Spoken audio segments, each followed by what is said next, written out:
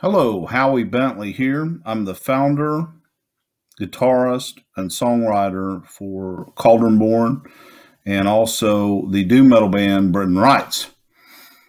When Metal Mike um, initially invited me to do this video about four inspiring albums, I had to think about it for a bit um, because I've been into heavy metal since 1981 and there's a lot of heavy metal I like. So I had to narrow narrow it down with some parameters, and um, I came to the conclusion doom metal will be a good thing to talk about because it's um, Halloween season now, and I usually get in the doom metal mood this time of year, reading um, gothic horror fiction and uh, listening to some of my favorite doom metal albums, uh, which initially inspired me to um, form Briton Rites.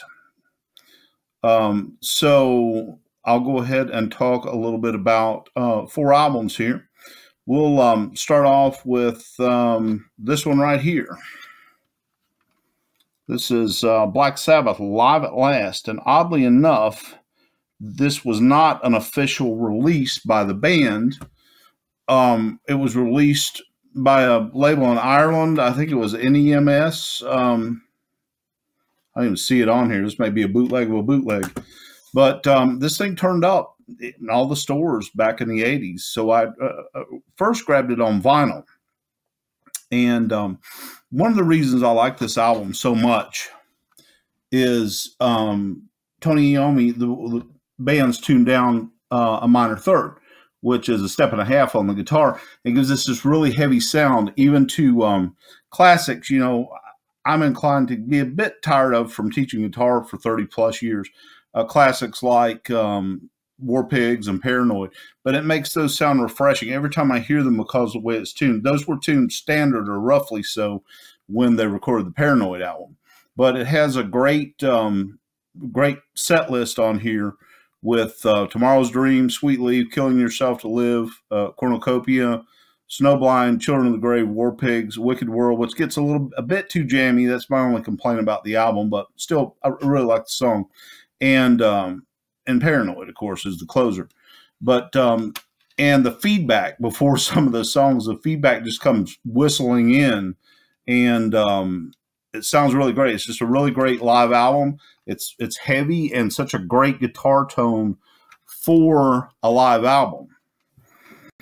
So my second one, these aren't in any particular order, even though Black Sabbath's my favorite band of all time. Um, the Ozzy era, and I love the Ozzy era, but it's not my favorite um, era. But for doom metal, it's one of my top. You know, it would be my top. Um, so here is a band um, from what I understand, they're from close to where Black Sabbath was from.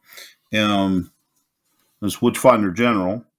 Um, this is my favorite album by them. Of course, I love the other album they did too, and the, and the live stuff that was uh, released later on. But uh, Death Penalty by Witchfinder General. Um, this is hard to beat. It would be in my top 10, maybe top five albums of all time. Um, I liken it to Venom's Black Metal. Every song on it is a hit with me. And um, I, I, would say um, Free Country is one of the best. The main riff in that is one of the best heavy metal riffs ever written. Phil Cope could come up with some of the the greatest riffs of all time in, in metal music. Um, I love every song on this, and um, this is a very influential album to me, very inspiring.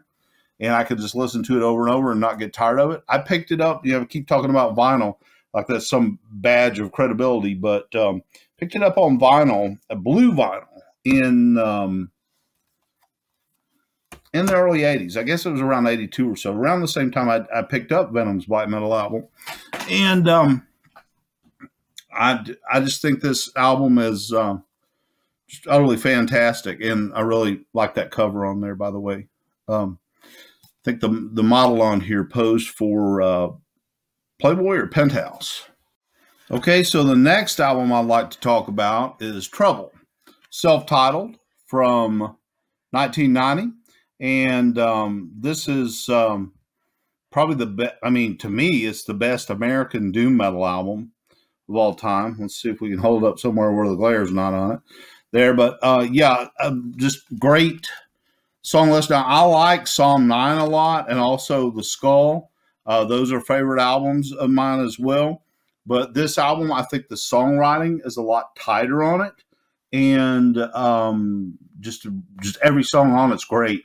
My favorite song from this album is, um, of course, Black Shapes of Doom, but it also has um, uh, The End of My Days, which is a great riff, The Wolf, Psychotic Reaction. And that's how I found this album was, or found out about this band, was I was watching um, Headbangers Ball back in, I guess, 89. Uh, but I was watching Headbangers Ball back in '89, and they played the video. There was a music video for Psychotic Reaction.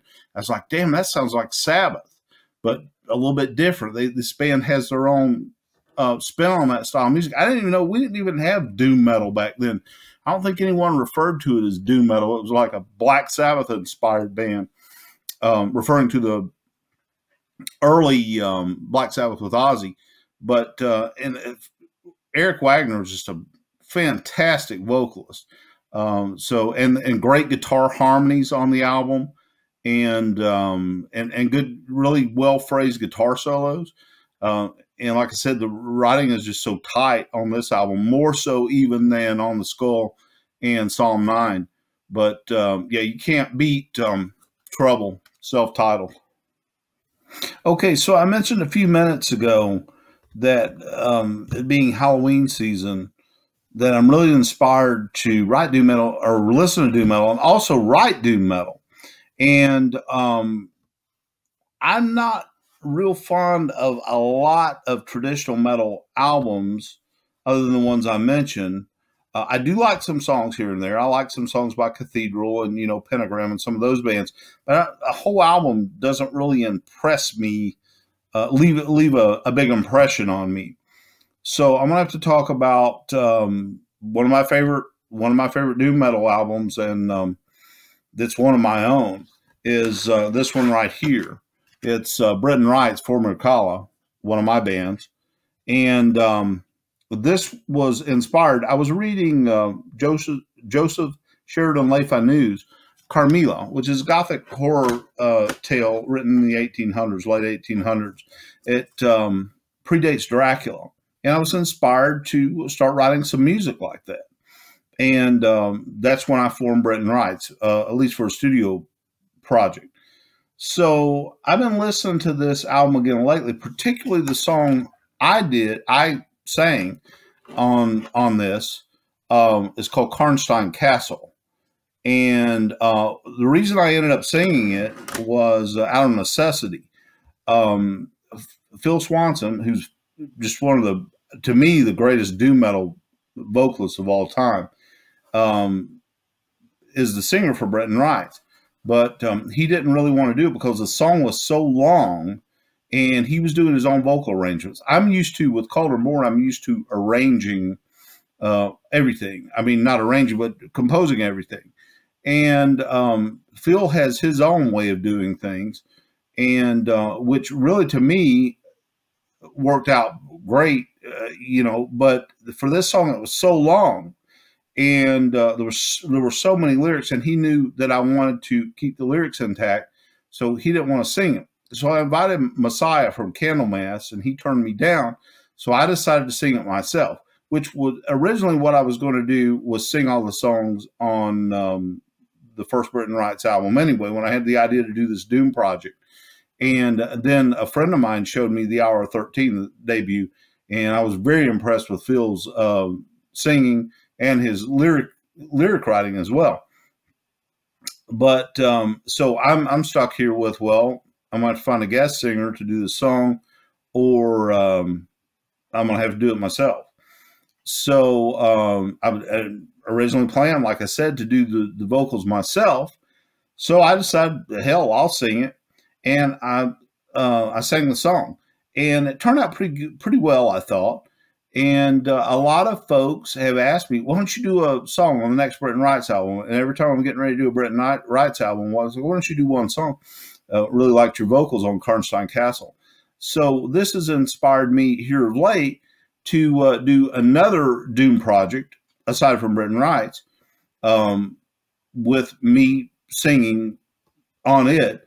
And of course, I'm doing everything but the drums, uh, singing and uh, guitar and bass. I've been writing some stuff for that, so it's very inspirational. Uh, this this album, and um, I'm hopefully going to record some stuff this year for this other project I've been writing for. Um, that is uh, is a doom metal band, but with me doing vocals on it. So uh, the Briton Rites album for Mircalla. call is an anagram of Carmilla. And Carmilla, like I said, was the story written by Joseph Sheridan Le Fanu, an Irishman. Also, Bram Stoker was an Irishman as well. And he influenced um, Stoker somewhat in his writing with Dracula.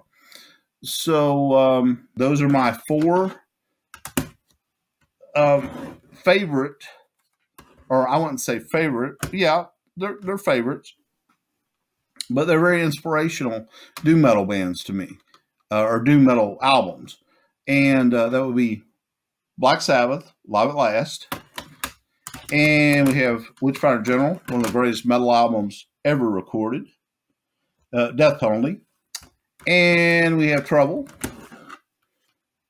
greatest American death metal band of all time, and their best album. And we have Briton Rites For Mircalla. And by the way, For Mircalla has been um, reissued on vinyl.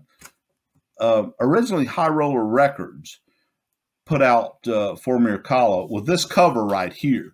But you know, I never was that crazy about this cover. So we have a new cover coming out, and they put it out on vinyl.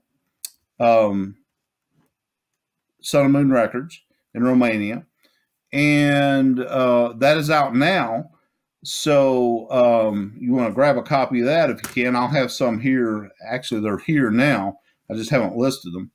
My four inspirational albums in the doom metal genre, and there you have it.